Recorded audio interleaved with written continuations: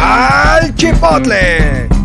Ah, ¿A poco se creyeron eso de que el INE es el instituto electoral más caro de América Latina? El INE, además de organizar elecciones, emite credenciales aquí y en el extranjero, capacita a personas para que integren las casillas, fiscaliza ingresos y gastos de partidos políticos, administra tiempos en radio y televisión, además promueve la educación cívica y la participación ciudadana. Todo eso no lo hacen otros organismos en América Latina. No se dejen engañar.